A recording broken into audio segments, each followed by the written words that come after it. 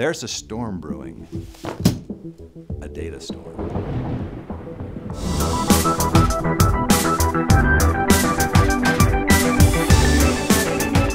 From apps to fitness trackers and connected medical devices to electronic health records, we are constantly collecting data. But how useful is this data when it doesn't translate to other systems? It's critical that we get three interoperability tools in place before the data torrents begin to fall. True interoperability will allow clinicians and patients to have the information they need when they need it, ultimately allowing for better healthcare decisions and lower costs. So what are these tools? First, technical standards. The technology to move data is not difficult to implement, but a lack of technical standards for sharing data has made us spend too much money and time on fancy and proprietary ways of translating data into usable information. After all, the data sent between systems is only valuable if it can be consumed by the clinician on the other end.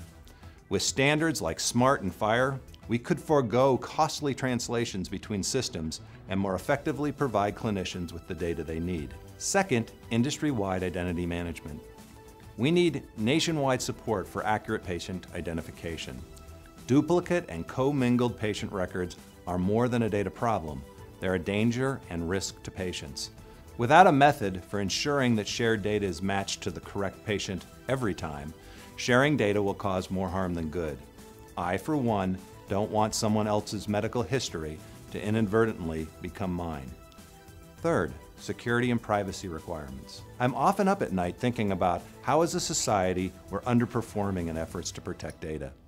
Each day, there's another story about a security breach in either the private or public sector. No industry is immune to cybersecurity threats.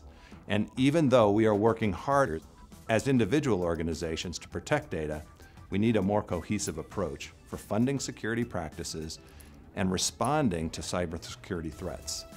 None of us can do security alone, and security must encompass every step we take toward interoperability. During this data storm, it's insufficient to simply catch the data in upturned umbrellas. We've got to put standards in place that allow the right data for the right patient to get to the right systems at the right time. Without these protections, fully integrated and matured within the industry, sharing data will only create a flash flood of inaccuracies and potential accidents. Working together alongside policymakers, we can implement these three criteria and ensure that data can be safely, accurately, and securely shared.